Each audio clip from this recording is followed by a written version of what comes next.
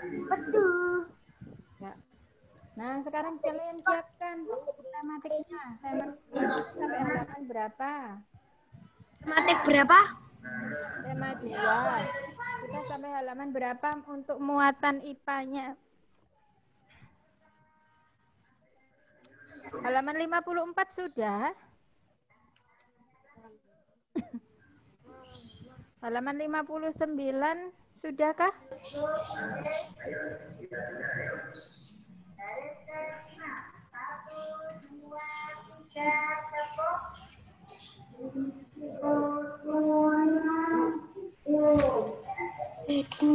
Halaman 70 ya. Kita ya, sampai halaman 70 ya. Coba dibuka. 70. Dulu ya. Dalam Tematik tema dua ya, Us. tema 2 halaman 70 sudah belum? Oh. Sudah kita bahas Belum, belum, belum, belum, belum. halaman 70 yang atas. Halaman 70 udah kita bahas. Sudah? Udah ada. Sudah ya? berapa? Wah. Halaman 71 sudah atau belum? Belum. Belum. Belum. Berarti kita ke halaman 71 ya. Halaman 71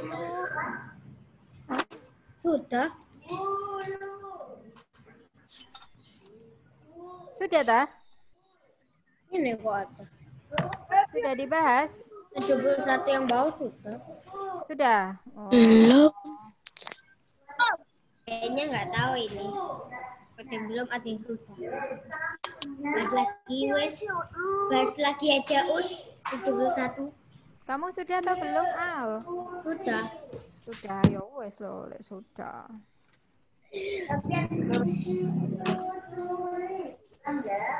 Oke, halaman 84.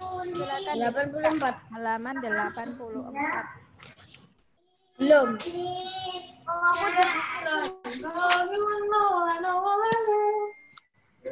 80 berapa, Us? 84. Iya, 84. Miro ada Miro? Ada per-pernya.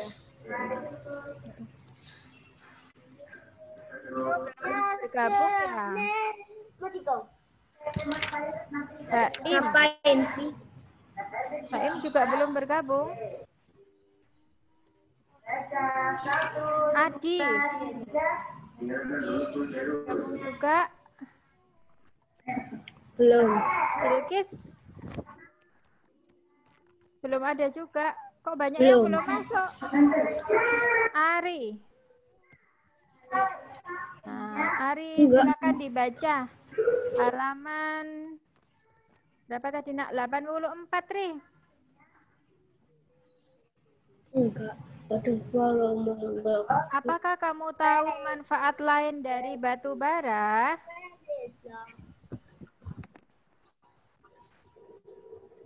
Eh, Ri.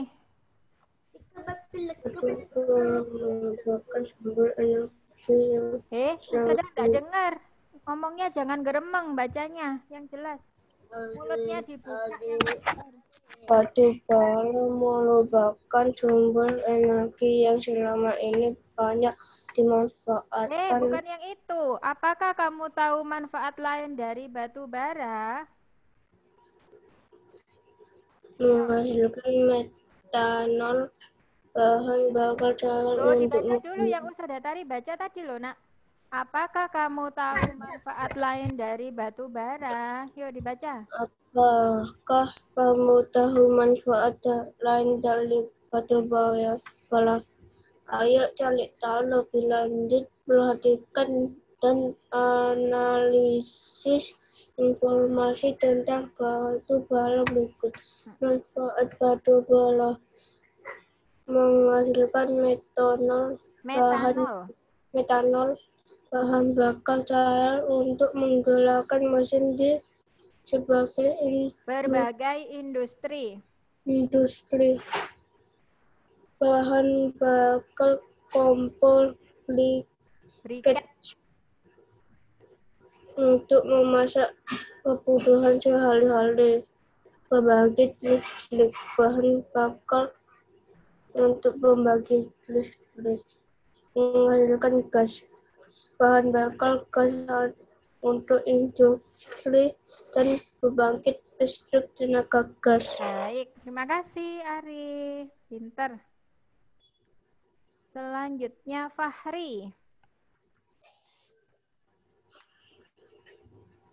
Fahri silakan dibaca lanjutannya yang di kotak merah.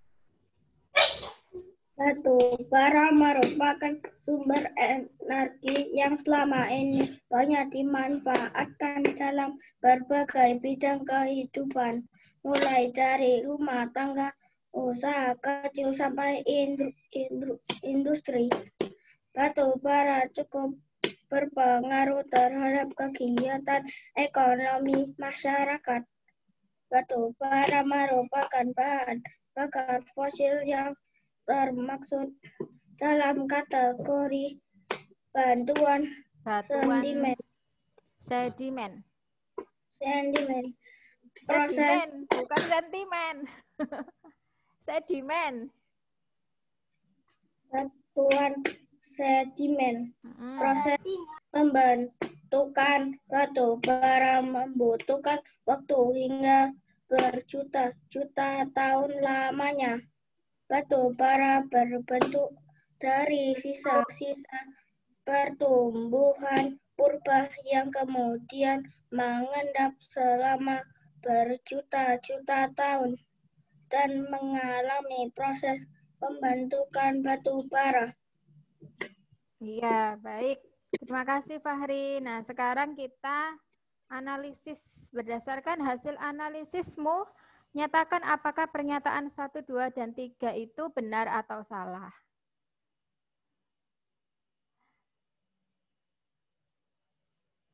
Nah, sekarang kita ke nomor 1, halaman 85.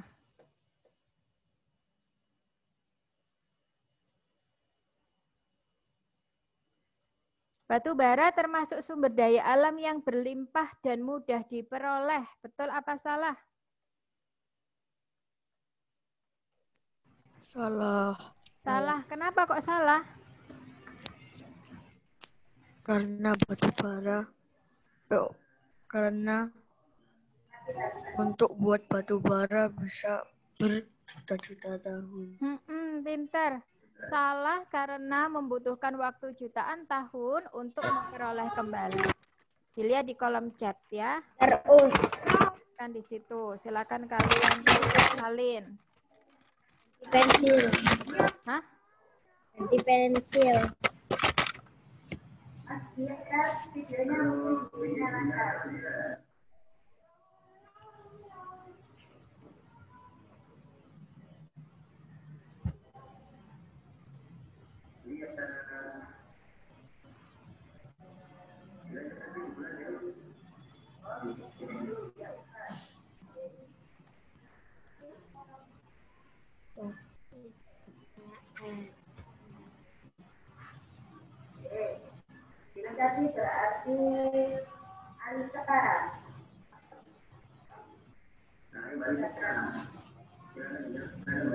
Sudah. Sekarang nomor dua, batu bara tidak mempunyai pengaruh terhadap kegiatan ekonomi masyarakat.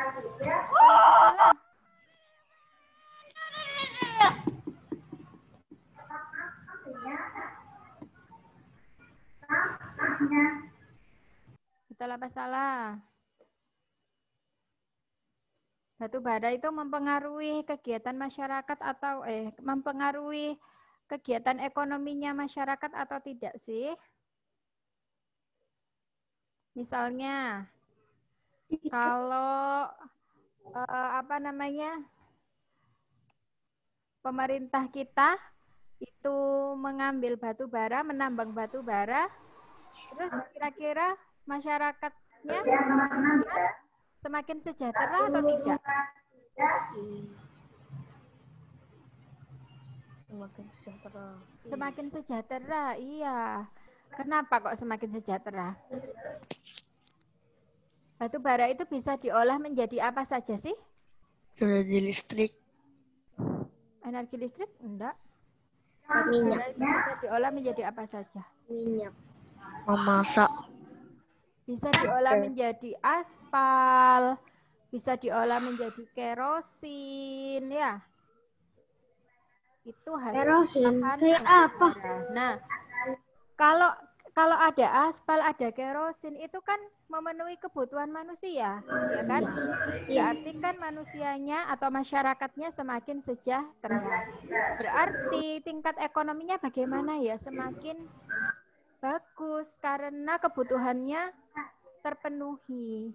Jadi kalau ada aspal jalanannya lancar. Eh, kegiatan ekonominya tidak terganggu. Misalnya mau distribusi sayur-sayuran dari panen di dataran tinggi dibawa ke kota, ke dataran rendah.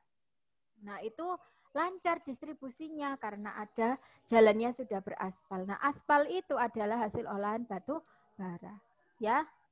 Berarti nomor dua salah. Karena batu bara adalah bahan bakar fosil yang bisa diolah untuk memenuhi kebutuhan hidup masyarakat yang bernilai ekonomi. Jadi batu bara itu yang betul adalah dia mempunyai pengaruh terhadap kegiatan ekonomi masyarakat.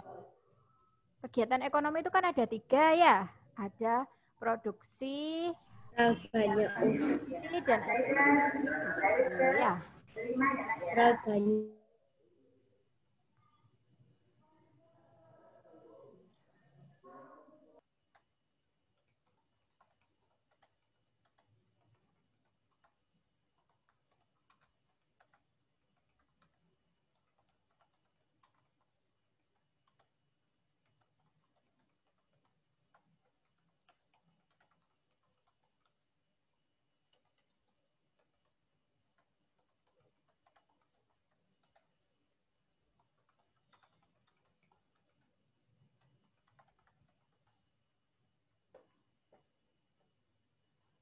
Barka, kameranya kok berhenti Barka? Ari sudah pinter Ari menulis. Barka, ayo ditulis Barka. Jawabannya nanti digunakan untuk belajar. Kalau sudah menulis, nanti kamu enak belajarnya ya. Nomor tiga, kita harus menghemat penggunaan batu bara. Betul apa salah? Betul. Betul, iya. Kenapa kok betul? Kenapa harus dihemat batu bara itu? Karena mencarinya susah. Karena banyak yang Oh, karena mencarinya susah, benar banget. Benar, karena batu bara adalah sumber daya alam yang tidak dapat diperbarui, sehingga membutuhkan jutaan tahun untuk mendapatkannya kembali.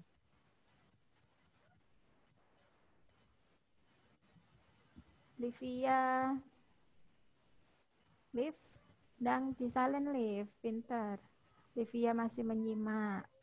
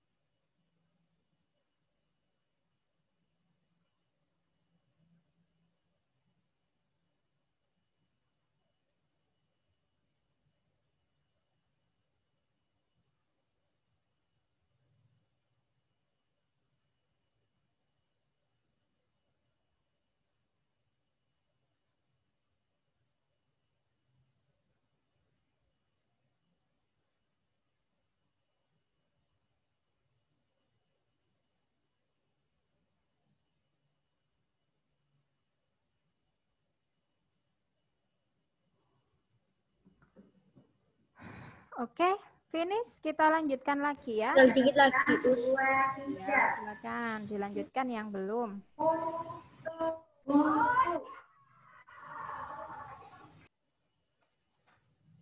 Eh, eh, eh, eh, eh.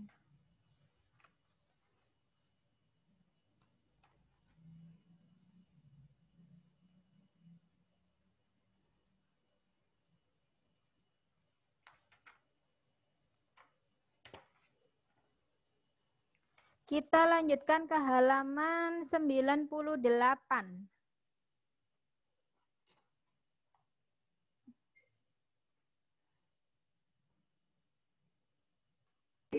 Siapa yang baca?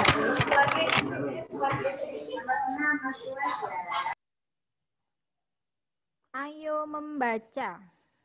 Akis.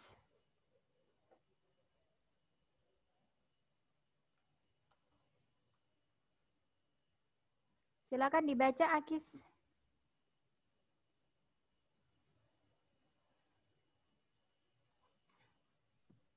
Sumber energi alternatif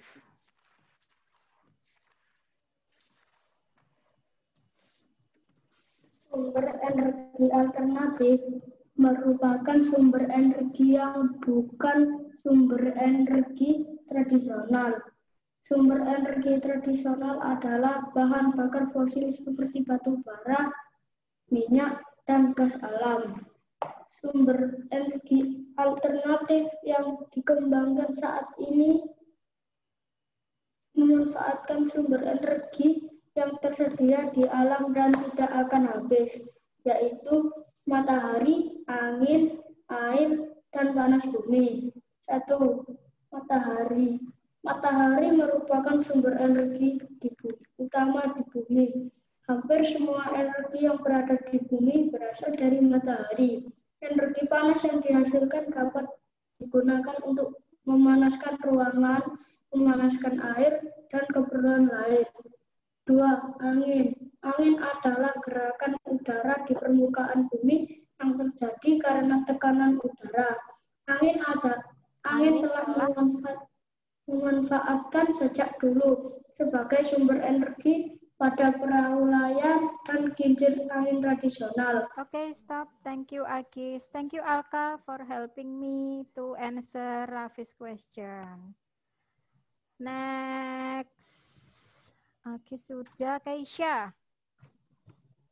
Dilanjutkan.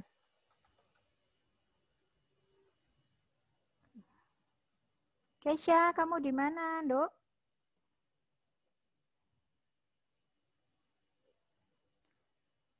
Haira.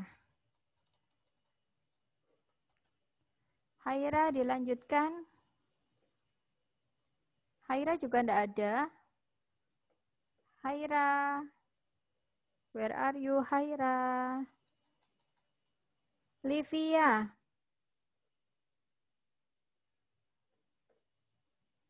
Livia dilanjutkan.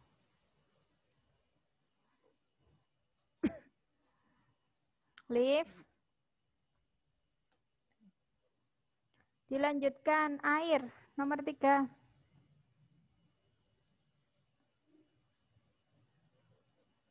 Livia, di manakah dirimu? Liv, hei itu loh kakinya kelihatan.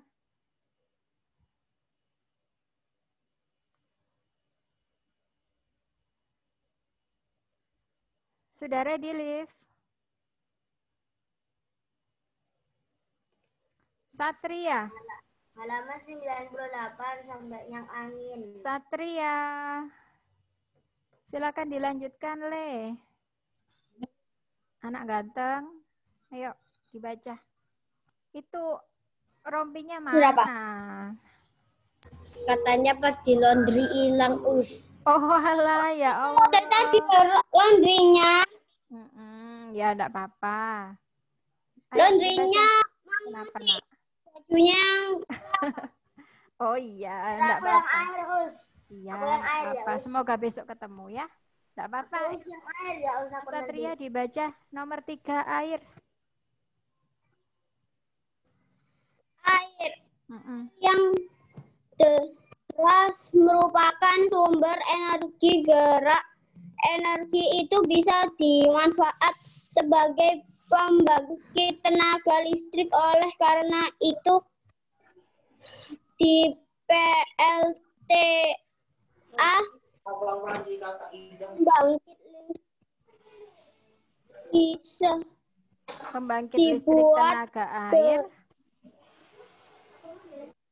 pembangkit listrik tenaga air dibuat bendungan air di tempat yang tinggi air yang di bendung tersebut kemudian dialir menurun sehingga akan mengalir seperti air terjun yang deras. Hmm. Lanjut, Mas Satria. Empat.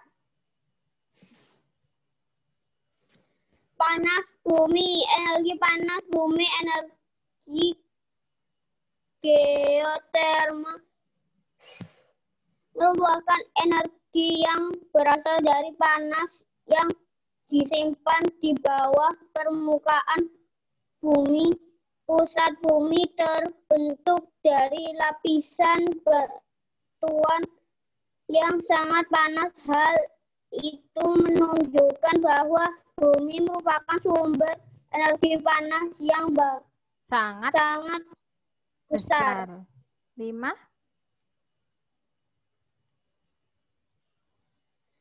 Gelombang Aku. air laut, gelombang air Gelombang air laut saat memecah di pantai menghasilkan banyak energi. Energi ini dapat diubah menjadi energi listrik. Iya, thank you Mas Satria. Sudah hebat membacanya. Alka. Dilanjutkan.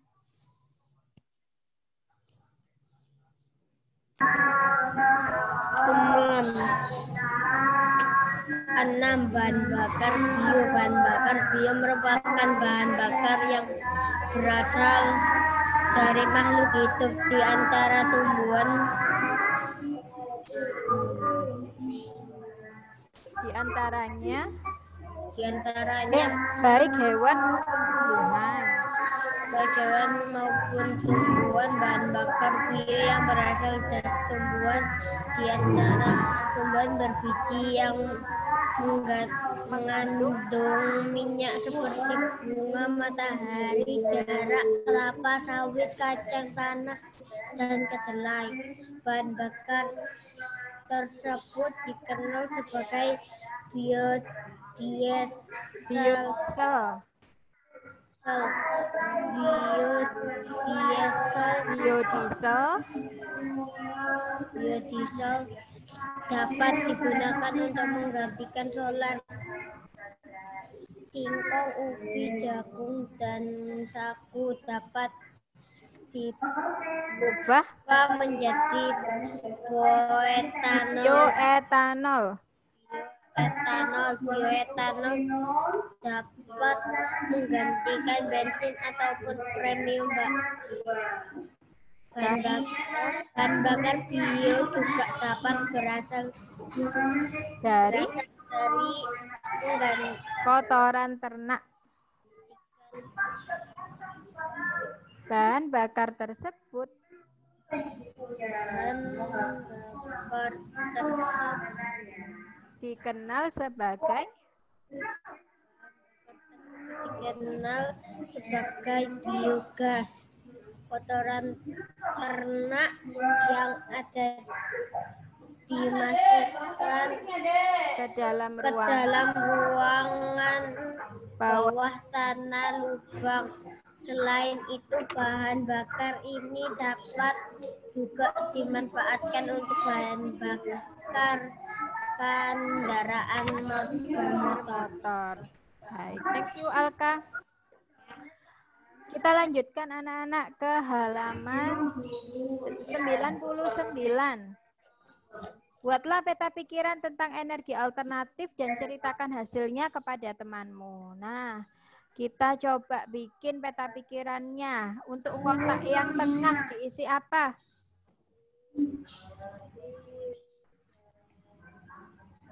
Diisi apa?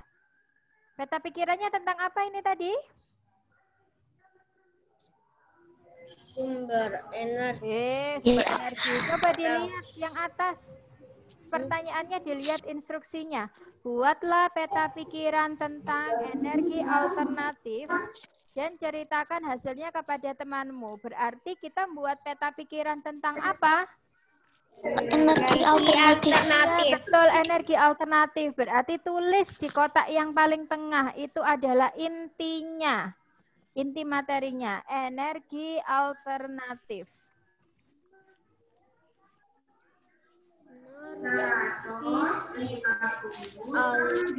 Haira, yo Haira di mana itu? Belum standby Haira. List standby. Nah, kemudian kotak yang paling atas, atasnya energi alternatif. Diisi apa? Yang pertama ada apa? Dilihat di Matahari. Matahari, ya. Yang tengah tahu tengah atas. Atasnya energi alternatif. Ya, matahari. Terus dikasih poin. Digunakan untuk apa matahari itu? Bisa untuk memanaskan ruangan. Terus untuk apa lagi? Memanaskan air. Ya, kalian cari di ya. Di apa namanya? Di teksnya ya. Nah, kemudian kita bergerak ke kanan. Kanannya matahari. Ada kotak lagi diisi apa? Setelah matahari apa, Nak? Air angin. angin. Iya. Yang mana us kiri atau kanan? Atas. kanan, kanan, kanan. Oh, atas kanan. Akis, ayo ditulis Akis. Satu. Fungsinya angin untuk apa? Hmm. Untuk perahu, layar. Layar. Kemudian untuk apa lagi? Iya. Kincir angin tradisional. Pinter. Halo, ditulis ya, halo ya. Yuk, time is up ya. Waktu kita habis. Ya, kita lanjutkan sebentar. Bawahnya angin, bawahnya angin. Ada kotak lagi. Diisi Air. Air. Fungsinya untuk Mandi. PLTA. Lihat di bacaan, di bacaan, di bacaan. Kita ambil dari bacaan ya. Kemudian sampingnya air berarti samping kirinya air berarti bawahnya kota energi alternatif. Nah, itu kita apa? Panas bumi. Ditulis Valen buku siswanya. Panas bumi, panas bumi fungsinya untuk apa? Energi geotermal. Naila pinter, menyalin. Kita ke kotak atasnya panas bumi yang sebelah kiri. Kita isi apa? Gelombang air laut. Iya, pinter. Gelombang air laut. Fungsinya untuk apa? Pembangkit listrik. Uyi, pinter. Fokusnya masih terjaga. Sekarang kotak terakhir. Sebelah kirinya Bahan bakar bio. kotak gelombang air laut. Bahan bakar bio. Hmm. Bahan bakar bio. Contohnya apa aja? Untuk apa aja? Biogas, terus apa lagi? Biosolar atau biodiesel. Apa lagi? Bioetanol. Mm-mm. Sudah ya? Mind map kita sudah terisi. Biogas. Baik anak-anak, Eh, sampai di sini materi kita hari ini. Besok kita akan ya di halaman 100. Nah, Usada akan ngajar di kelas 11. Setelah ini kalian waktunya apa? Ini belum ada ustadanya. Saya U, Eh, siapa ini? Sada Oh, Ati. Sada Ati. Ya, Saya jadikan host. ya.